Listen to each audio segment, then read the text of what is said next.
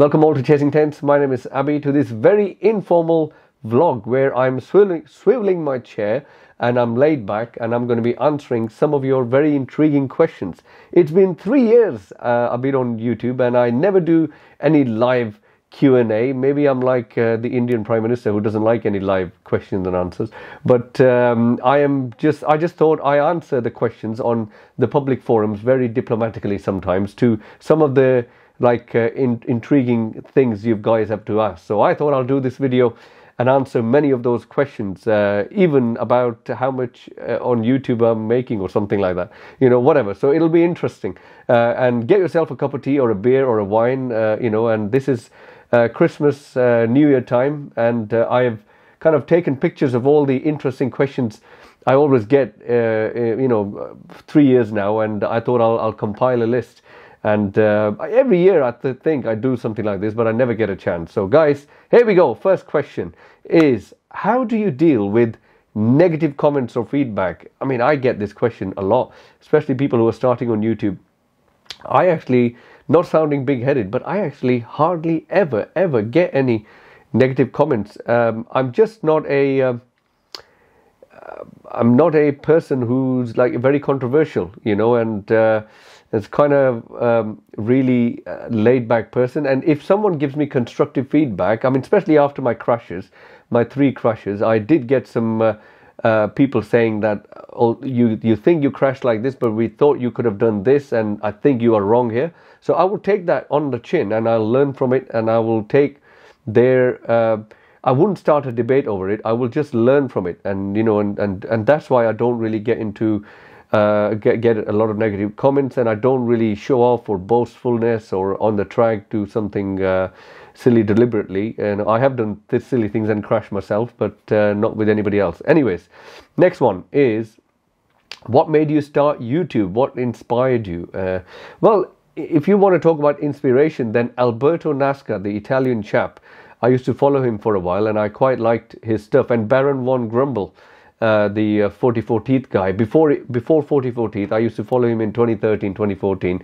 I did start recording a uh, NEC motorcycle live in 2016 uh, on a GoPro 4, and that would have been my first ever vlog in 2016. But then I started in 2019 March, Portimao something, and so three years late, and those three years were crucial, I think, because uh, now YouTube is people don't really YouTuber. I, I hate calling myself a YouTuber. I would say content creator. People have got this stigma with with YouTube, and uh, it's it's not very popular. People might watch something but not subscribe.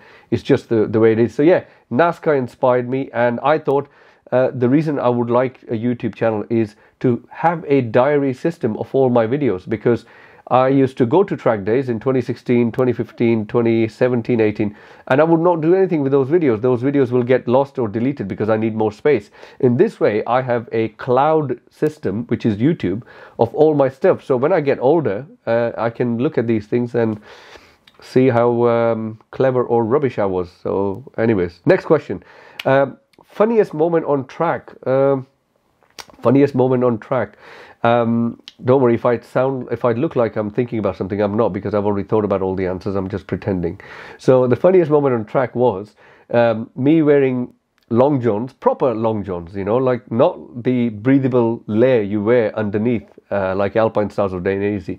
This was like a cold uh, Silverstone track day 2017 or something. I was wearing long johns. And every time I would lean the bike my long johns would rip you know from the crotch area and the more I leaned, the more you know. It felt like my zip is opening. You know, um, uh, like uh, was it Quartararo? You know, his zip opened lately, and uh, um, yeah. So that was quite embarrassing for me, and just a personal thing. I didn't tell that to anyone, but I'm telling it now. I had a massive hole this big because those long johns couldn't take this stretch of the lean. Um, I didn't used to lean that much in 2017, but still, it was a massive hole there, and it was a cold day, and uh, it was proper warm long johns, and they ripped to shreds in a way. So that was embarrassing for me. Okay, the next one is you haven't crashed in two years. What's changed? so basically, um, I think what happened was in 2019, I went on a very quick learning curve. Uh, 2018, I think I was inters.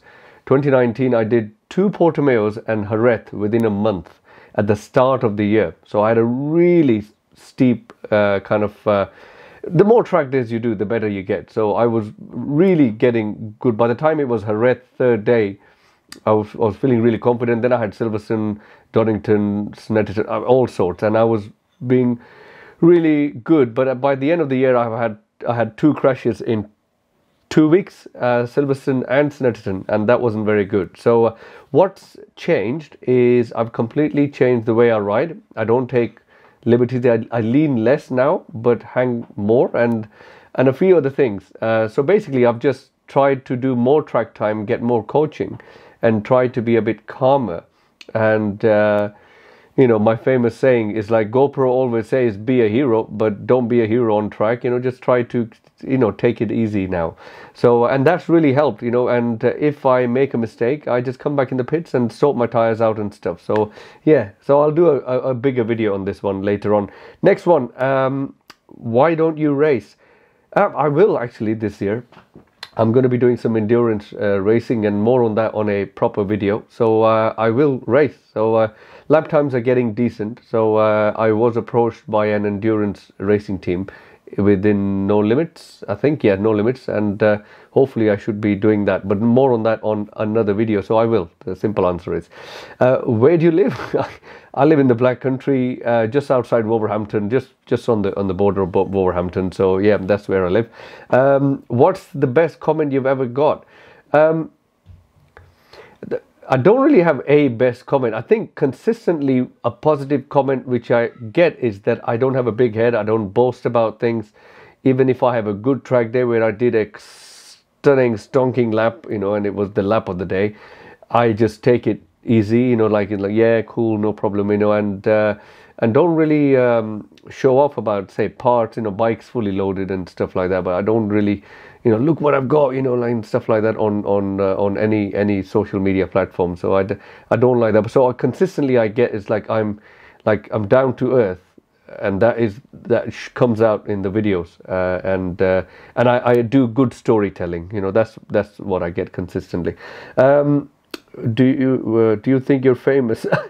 do you think you're famous? My God, I got that last month. Uh, no, I no no no. It's what I would say is when I go to a track day, I meet a few people. They will approach saying, "Oh, I've seen your videos and stuff like that." And I think I'm uh, there. There's a few people who know me in the track day scene uh, from my nicey image, uh, you know, which is my basic nature and uh, but I'm not famous uh, or anything like that. I mean, I hardly load any videos on YouTube. You know, I've been on YouTube for three years, and I've got some three and a half or three thousand seven hundred subscribers. So I, I, you know, I, I'm not one of those people who's hungry to get famous or money.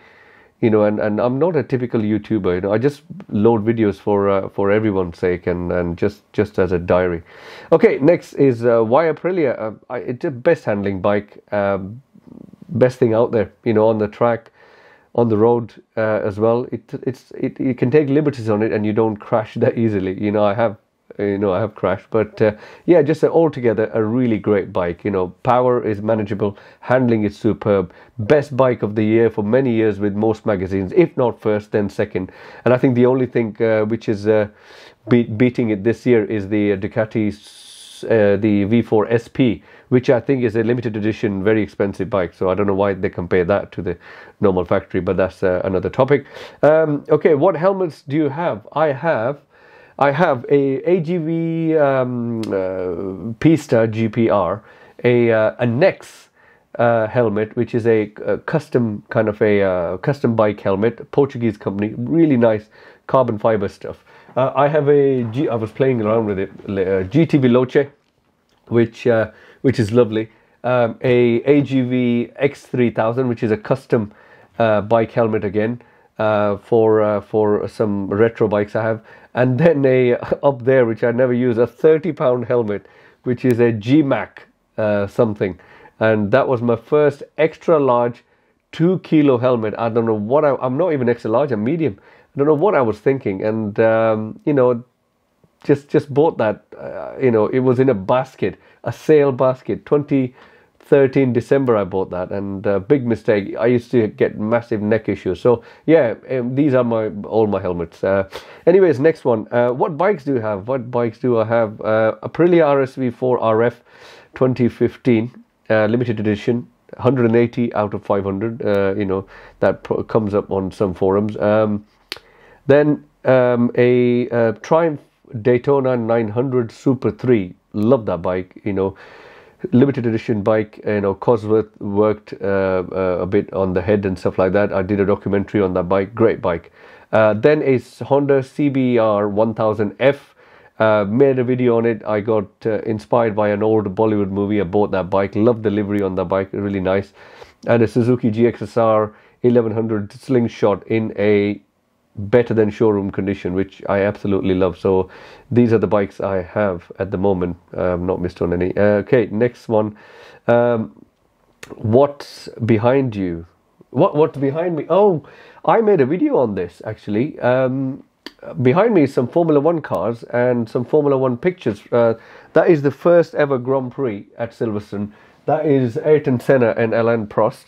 There's some uh, every decade cars, championship winning cars for in Formula One is there. That is uh, Jim Clark at uh, Zandvoort uh, in the Lotus 49, which is my favorite Formula One car. And my helmet's a Chesterfield chair. There's a there's a wood burning stove. There's an old um, uh, kind of a mirror there, and uh, there's a there's an old piano there. There's a electronic piano there. There's an LED TV there, and there's some lights. this is what's in the. I've done a video on on this whole room because loads of people always kept asking what's behind me. Uh, you can check on my uh, channel somewhere.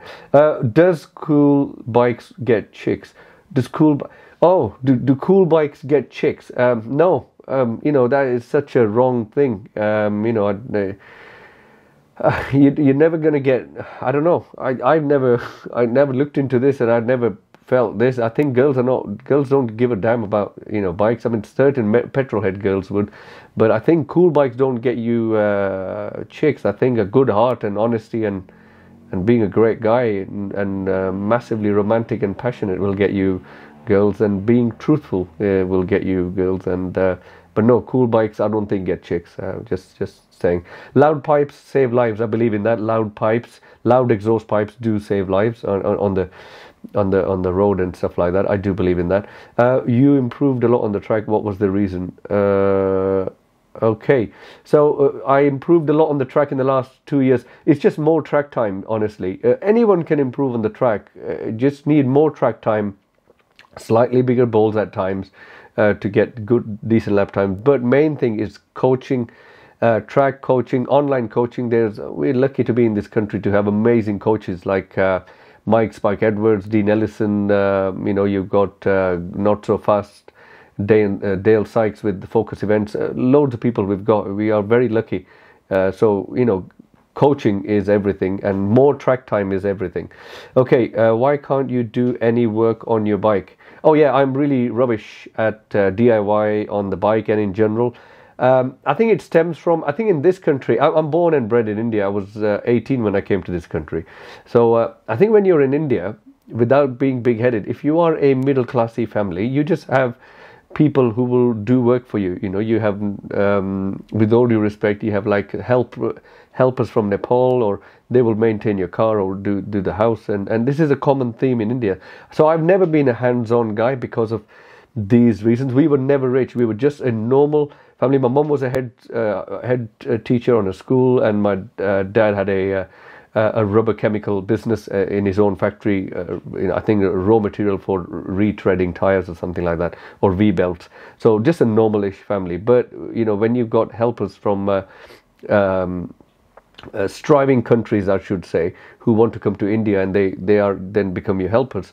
Uh, in the house then makes your life easy then you don't you you never get hands on so that is my excuse you know i was never given a spanner ever. So I'm, I'm scared to work on my bike. You know, I do some decent speeds on the bike on a track. I'm scared to even change brake pads. So that is the God's honest truth. Honestly, this is the reason. Uh, you know, uh, and it's a very honest reason. Next one. Um, one thing which you learned on the road, which helps you on the track, uh, using my legs uh, really. Um, on the road, uh, getting out of trouble. So before doing these track days, we used to do some crazy uh, trips from Wolverhampton to Wales uh, within an hour or something we would be there and we'd never do that again we would never do it again it was just stupid you know riding a bike on the on the road really fast, you know, in the early hours of the morning on Saturday or a Sunday, depending on the weather.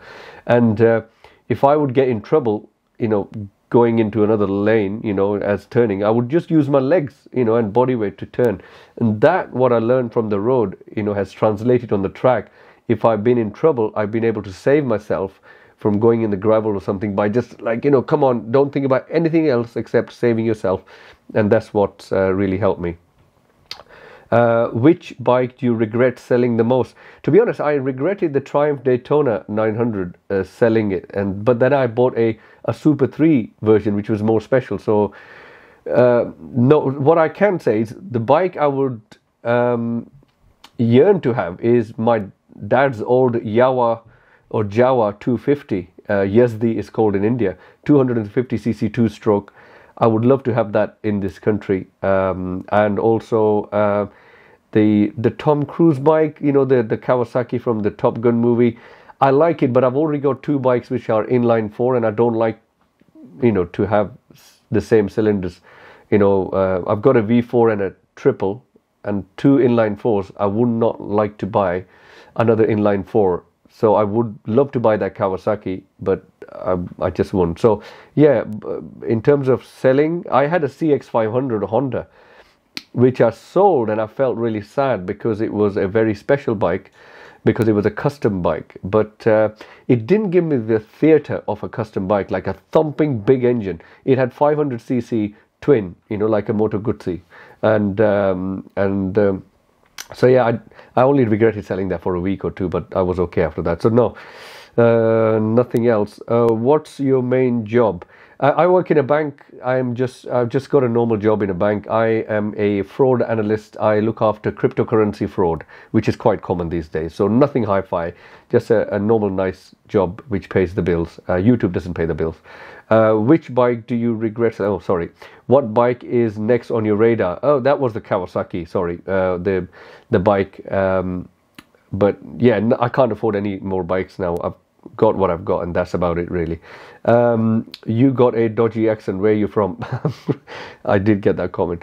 Uh, I am born in India. I've got a semi-British accent. I was in a convent, a very strict convent English-speaking school in India, so English speaking was never a problem. Uh, but obviously, you can never have that same British accent what British people have. I love different accents around the country. I lived in Slough for a bit. I lived in Kent, Rochester, Strood uh, for a bit. Um, lived in Birmingham for a bit. Now I'm in the Black Country. So um, you know I've had different-ish accents and people with people, but uh, yeah, that's the reason I've got a dodgy accent. Uh, it is dodgy. I still struggle with my V's and W's, so I can never say Vivian Vivienne Westwood and stuff like that. Uh, anyways, um, next one is um, what's your main job? Why you got a dodgy accent? Um, done that already. Do you still mess up your V's and W's? I just mentioned that. I get, I actually get this from my old work colleagues a lot on YouTube. They will deliberately comment this uh, to uh, my V's and W's. So if you are Indian from India, V and W is kind of similar, like maybe German people as well. So yeah, I did used to struggle with my V's and W's. So Vivienne Westwood, it takes me a second of thinking time to say that. Uh, do you blame the carbon wheels for your crash? Oh my God. Never. You know, I when I crashed at Silverstone, a few people said on the on YouTube um, that you crashed uh, because your carbon wheel failed. No, no, no, never, never blame. You know, a product and this a company because of your shortcomings. You know, that day I crashed because of my fault. The tires were cold. Uh, I did four right-handers and then a and then a left-hander. Tire was a bit dirty as well, but it's got nothing to do with the the carbon wheel. So that's a common uh, question I get asked on that Silverstone crash. Uh, are you happy with the money you get on YouTube? very nicely worded answer. So congratulations to you, whoever answered that. I'm not going to mention any names. Um, they didn't ask how much money I make on YouTube because I make nothing. So okay, the thing is, I am not a greedy person in general. So I don't put too many ads on my videos. I think on a 10 minute video, I will put maximum two ads, maybe one at the start. So we can control the ads we put. So on a 10 minute video, I put two ads. On a 15 minute video, I put three ads. On a 20 minute video, I put three ads again because on a 50 minute video with the Triumph documentary and stuff, I put five ads. So um, yeah, so I'm not greedy after you know. I would like to build an audience first, then start shoving ads in on in people's throat. You know, so uh, no, I'm not happy with the money I get on YouTube. It's pennies, pathetic. It's crap. I spend more money on making some of the travel kind of a you know where I've gone to. Uh, to someone's house to film their bike or, or, or, or somewhere. No, I'd spend more money on the kit, camera kit. I've got a massive light here, which was 200 pounds, a light there, which was 80 pound, a light there, which was uh, 50, 60 quid. Camera was 400 pound, gimbal, drone, you name it. Have I made that money back from YouTube? No, I haven't. Simply, I haven't. You know, and then I pay for copyright free music. I pay for uh, you know gigabyte transfers and you know WeTransfer and stuff like that. So all that and my website that's 24 pound a month where no one buys any t-shirt of mine with chasing tenths on so i don't i don't make any money um, on on that. So uh, i think any money I, I, get from youtube gets spent unfortunately uh, with upgrades or, or or not upgrades on the bikes just kind of kit upgrade and stuff like that. So yeah th- these were the questions i get commonly asked. Any further questions you want to ask me uh, please feel free to put it on the comment section. I will diplomatically diplomatically answer them on the comment section, but I'll probably make another video like this maybe at the end of the year. So thanks for watching, guys. If you haven't subscribed or liked, please do so. Thanks.